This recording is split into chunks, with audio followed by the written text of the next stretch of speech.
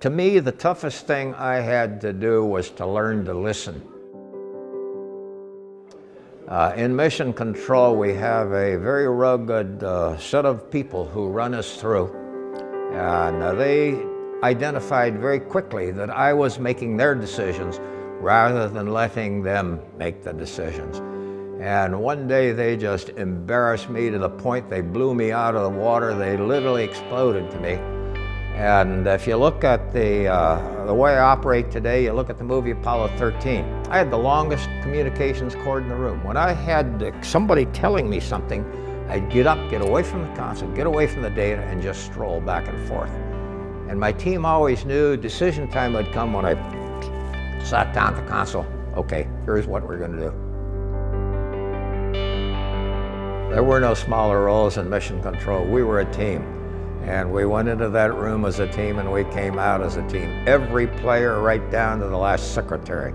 I had to be smart enough to ask the first good question. After that, that would uh, get the communications flow going so that we can address problems.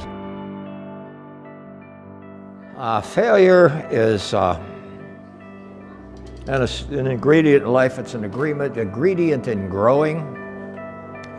Probably the worst failure of my life and our lives as mission controllers is when we uh, uh, lost our crew in the Apollo 1 fire. And we lived with that failure, and what we did about it, though, became very important.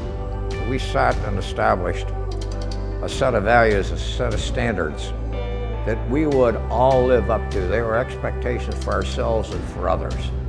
Uh, failure is, is a incredible, intense learning process. And if you use it learning process, it was, it was worthwhile.